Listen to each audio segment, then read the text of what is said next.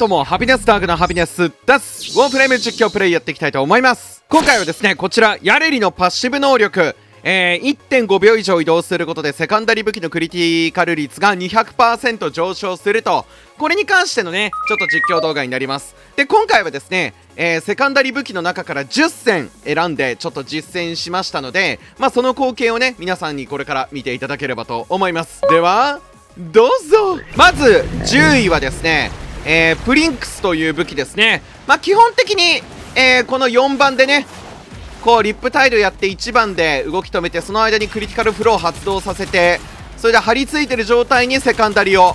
浴びせていくという感じですねもともとクリバイ率の高い武器なのでプリンクス自体がなのでね、えー、きちんとヘッドショット狙いやすいですし、えー、弾切れの心配がないということでね長期戦にもだいぶ向いててで安定したその火力を誇れるっていうのはやっぱりねあの強みかなというふうに思って、まあ、結構面白いなと思いましたね。ただねやっぱり精密射撃でその範囲攻撃に長けてないのでまあその点ね一個一個こうやって狙って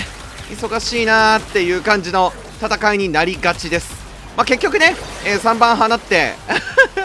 切断を付与しながらの方がまあ倒しきれなかった時リロード中に敵が始末できるかもしれないっていうねワンチャン狙いながらの攻撃になると思うので、まあ、あんまりね、実戦向きではないかなとも思いますが、まあ、場合によっちゃね、弾切れを心配する場合は、えー、こうした使い方もありという感じですね。プリンクスに関しての、えー、ビルド構成はこんな感じです。まあ、ちょっとね、育成中とか、まあ、思いつきでやってるのもあるので、ちょっと雑い、付け焼き場な感じも否めないものも出てくるかもしれませんが、まあ、一応ね、あの、このモッド構成であれば火力も出せるという感じです。続いてがこちら、スペクトラバンダルですね。まあ、かなりね、この、あのー、精密射撃が100%で、えー、働いてくれますので、こう狙いやすい。それでさらに貫通距離とか入れていると、その奥の人までね、ダメージを与えてくれたりだとかで、結構その、一度に複数の敵を攻撃することができる。特にこうやって、あのー、貼り付けに状態にしてね、オペレーターのゼニリックとかでこうやって1箇所に集めてたりすると、まあ一色単にえー、ダメージを与えていけるので、弾の節約にもなるし、効率もいいかなという感じですね。まあ言うてね、これも思いつきでやったので、シーカーのおかげでちょっともっと容量が結構取られているんですが、別に物理でね、こうやって攻めてもいいと思いますし、もっとね、状態上寄りにしても面白いのかなと思います。場合によってはね、えー、こうしたね、ヘッドショット時に、えー、クリティカルリスを付与しますよっていうモッドをつけて、実際にこうやって攻撃してみると、まあさらにね、えー、火力が伸びたりで、非常に狙わなくても当たるよみたいな感じ狙わなくてもっていうかそのヘッドショットをね、えー、狙わなくても、まあ、結構ダメージも取れるのでこう忙しい時エイムしてる時間ないなーっていう時に関しては、まあ、こういう使い方もちょっとありなのかなという風な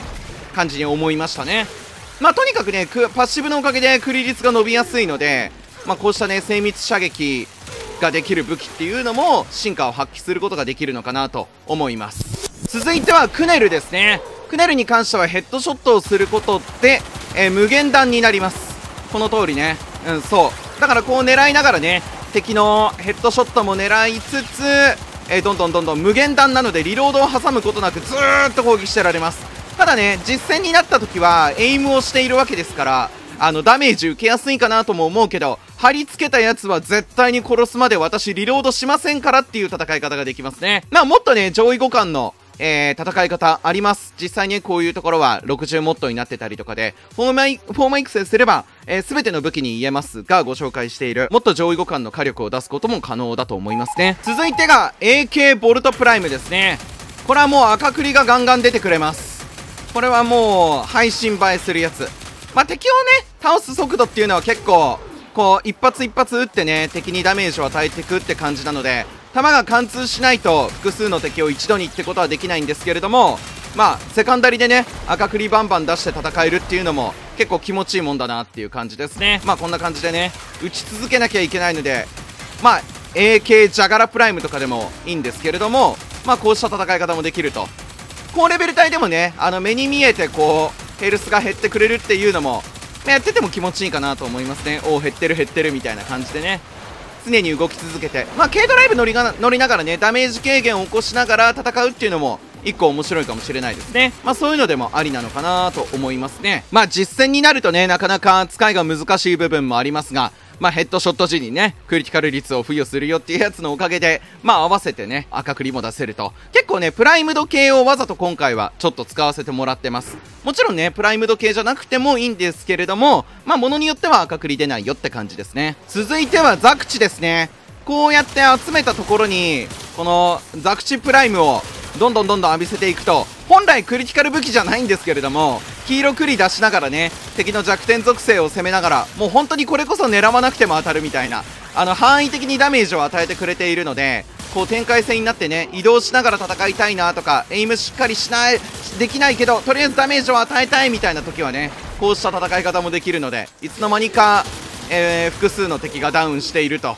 いう戦い方もあるのかなっていう感じです。はい。まあこいつにもわざとこのヘッドショット、まあ狙わないといけないんですけれども、まあ場合によってはダメージが跳ね伸び伸びるよみたいな感じですね。本来状態上武器ですが、えー、強引にクリ率もちょっと上げてるって感じで、まあ倍率伸ばしてないんで、まあこの辺は、この、このモッドをね、ちょっと変えるみたいな、まあ、フォーマー育成が必須になりますけれども、まあ、そういった使い方もあるのかなと、まあ、単純に面白いなと思いましたね。ここからは、ちょっとより実践向きな感じのものが多くなってくるかなという印象ですね。次クワッツですね。こいつもヘッドショットを狙っていきます。バーストの方ですね。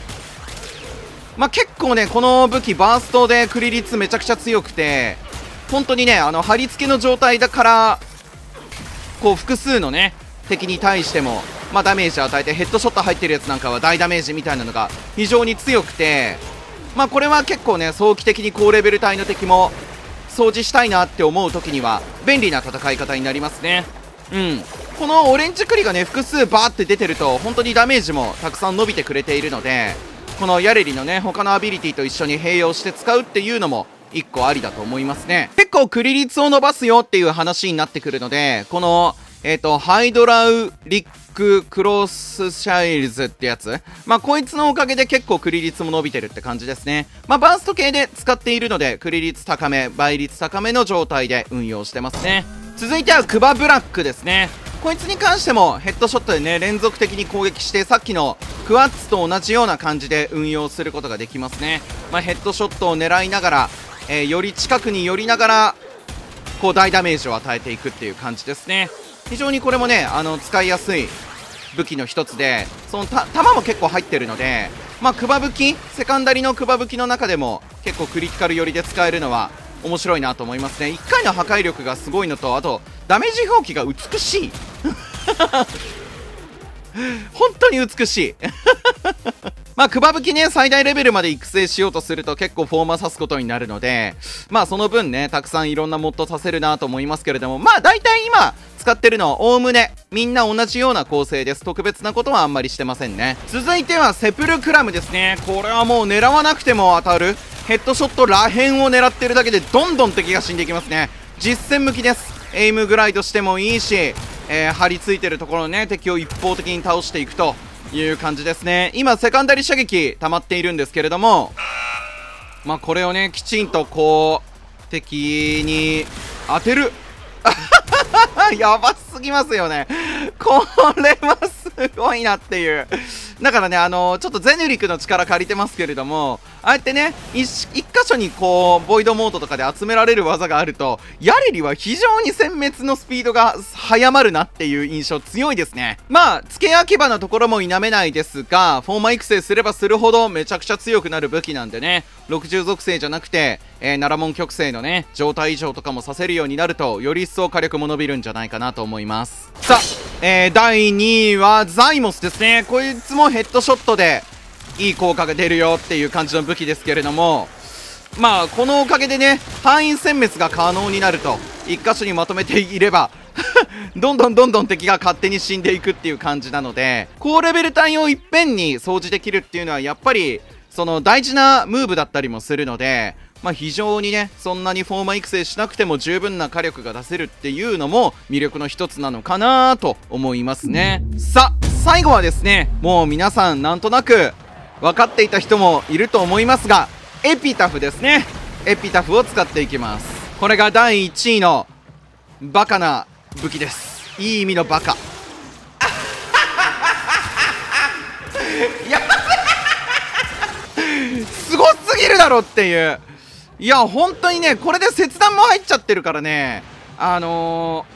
ー、やばいんですよね。本当にかっこいい。映像的にも火力的にももう申し分ない。まあ、たとえね、えー、1番の貼り付けから抜け出してこうやってガーッと打ってくる連中がいてもですね、まあ、ダメージ軽減をしながら、えー、霊気ダメージを与えてで1番でまた貼り付ける。っていうことができるのでリップタイドをね、えー、放つ必要がないと相手をひるませるのに。それもエピタフの強みの一つですね。そう。それで貼り付けてねこういった状態まで持っていけるっていうのはやっぱりね高レベル帯では相手の好きにさせない。絶対に向こうからの攻撃を受けないっていう状況を作り出すためでもあるので、それをセカンダリー1丁で解決できてしまうっていうのは、あの状況に持ってくまでね、それはね、やっぱりこの2種類の攻撃を持ってるエピタフの魅力だと思いますね。まあ実際、まだまだ、えー、だ、属性のダメージを伸ばすことはさらにできると思うので、非常に、えー、その、ヤレリとの相性、抜群なんじゃないかなと思いますね。アルケインも刺してないしね。いやー、どんどん強くなりますね。じゃあまあ、これで、えー、10位から1位の えー、紹介が終わったわけですが、最後にですね、エピタフ、おまけとしてですね、えー、ちょっとロアをセットしてきましたので、これはちょっとやりたいと思います。はい。じゃあ、リップ態度がないのでね、こうやって攻撃していくわけですが、さっきも説明した通り、全く問題がないという感じです。ダメージ軽減を起こしながらね、エピタフの力で低速化する。そしてロアを放ってからの、エピタフエピタフもう本当にそんなに殺したいか敵のことをっていう火力ですね 本当にダメージ表記もでけえし魅力抜群でございますさらには3番もまだ使ってないですからね。似ようが焼こうがというのはあのことを言うんだなと思いますね。今回ね、まあ特別な何か新しいモッドを使用したりだとか、えー、アルケインを使用してない範囲での話ですが、これは動画に載せるほどでもないかなっていう武器ももちろんいっぱいありました。けどね、えー、今紹介した10個っていうのは、まあ面白かったり実践向きだったりといろいろありますのでまあぜひちょっと自分の自身のね手でも触れてみてください。ハピネスダークダウンハピネスでした。またお送りします。ご視聴ありがとうございます。今回の動画面白かった参考になったという方はぜひ評価ボタンや感想コメントよろしくお願いいたします。こうしたね、えー、ビルドの解説動画などなど、えー、たくさん今後も発信していきますのでチャンネル登録ともよろしくお願いいたします。またねバイバイ。